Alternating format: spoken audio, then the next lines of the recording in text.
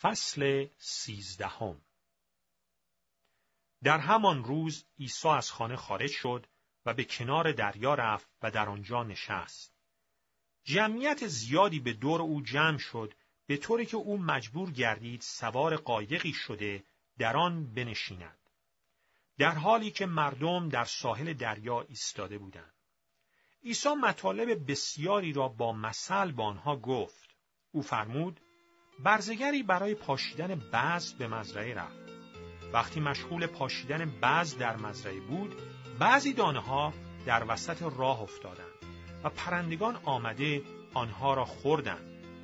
بعضی از دانه ها روی سنگلاخ افتادند و چون زمین عمقی نداشت زود سبز شدند اما وقتی خورشید بر آنها تابید همه سوختند و چون ریشه نداشتند خشک شدند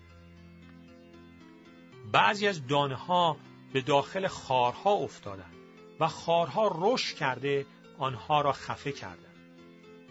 بعضی از دانه ها در خاک خوب افتادند و از هر دانه صد یا شست یا سی دانه به دست آمد. هر که گوش شنوا دارد بشنود. پس از آن شاگردان نزد عیسی آمده از او پرسیدند چرا به صورت مثل برای آنها صحبت می‌کنی؟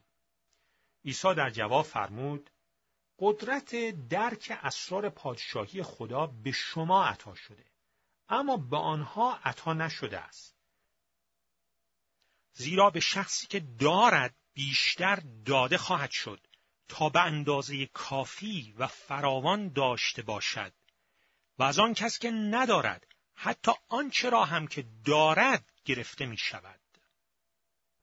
بنابراین من برای آنان در قالب مسئله صحبت می کنم. زیرا آنان نگاه می کنند ولی نمی بینند و گوش می دهند ولی نمی شنوند و نمی فهمند. پیشگوی اشعیا درباره آنان تحقق یافته است که می‌گوید پیوسته گوش می دهید ولی نمی فهمید. پیوسته نگاه می کنید ولی نمی بینید. زیرا ذهن این مردم کن گشته، گوشهایشان سنگین شده و چشمانشان بسته است. و الا چشمانشان می‌دید و گوشهایشان میشنید و میفهمیدند و بازگشت می‌کردند و من آنان را شفا می‌دادم. اما خوشا به حال شما که چشمانتان می‌بیند و گوشهایتان میشنود.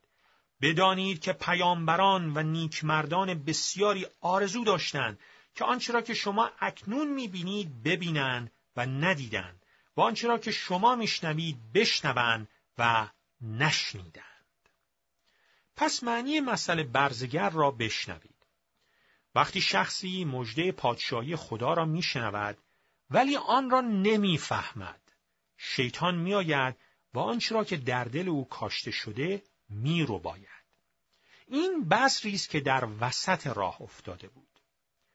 دانه که در سنگلاخ میافتد مانند کسی است که تا پیام را میشنود با شادی میپذیرد ولی در او ریشه نمی‌گیرد و دوام نمیآورد پس وقتی به سبب آن مژده زحمت و آزاری به او برسد فورا دل سرد می شود.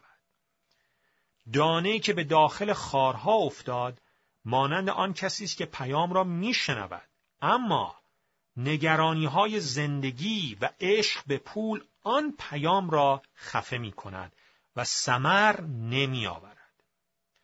و دانه کاشته شده در زمین خوب به کسی میماند که پیام را میشنود و آن را می‌فهمد و صد یا شست یا سی برابر سمر به بار میآورد.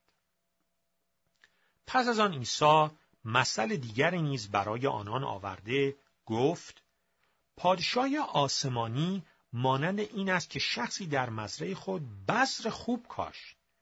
اما وقتی همه در خواب بودند دشمن او آمده در میان گندم تلخه پاشید و رفت.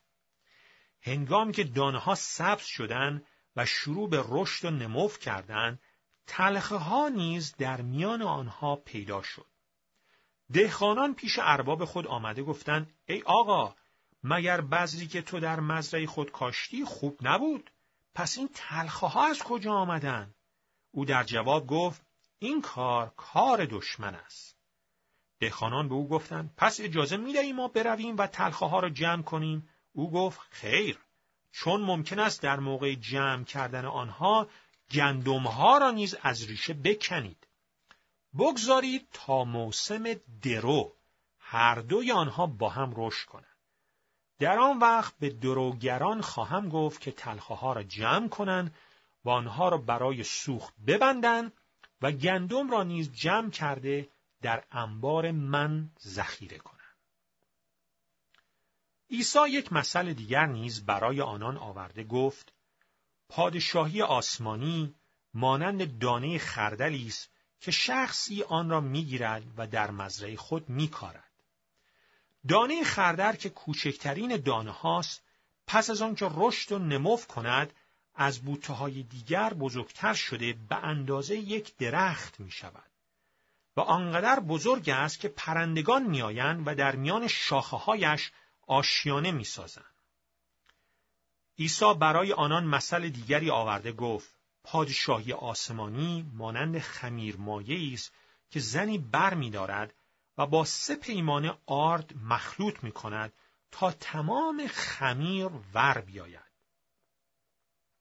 عیسی تمام این مطالب را برای جمعیت با مثال بیان می کرد و بدون مثل چیزی به آنها نمی گفت تا پیشگوی نبی تحقق یابد که فرموده است من دهان خود را خواهم گشود و با مثلها سخن خواهم گفت و چیزهایی را بیان خواهم نمود که از بد و خلقت عالم پوشیده مانده است. پس از آن عیسی مردم را مرخص کرد و خودش نیز به منزل رفت. شاگردان عیسی پیش او آمده گفتند معنی مسئله تلخه های مزرعه را برای ما شهر بده. عیسی در جواب گفت کسی که بذر نیکو میکارد پسر انسان است. مزرعه این جهان است و بذر نیکو تابعین پادشاهی خدا هستند و تخمهای تلخه پیروان شیطان می باشند. آن دشمنی که تخمهای تلخه را کاشت ابلیس است و موسم درو آخر این دنیا می باشد و دروگران فرشتگان هستند. همانطوری که دروگران تلخه را جمع می کنند و می سوزانند در پایان این جهان هم همینطور خواهد شد. پسر انسان فرشتگان خود را خواهد فرستاد و آنها هر کس را که در پادشاهی او باعث لغزش شود و همچنین همه بدکاران را جمع می کنند و در کوره مشتعل خواهند افکن جایی که اشک میریزند و دندان بر دندان میافشرند در آن زمان نیکان در پادشاهی پدر خود مانند خورشید خواهند درخشید هر که گوش شنوا دارد بشنود پادشاهی آسمانی مانند گنجی است که در مزرعی پنهان شده باشد و شخصی تصادفاً آن را پیدا می کند.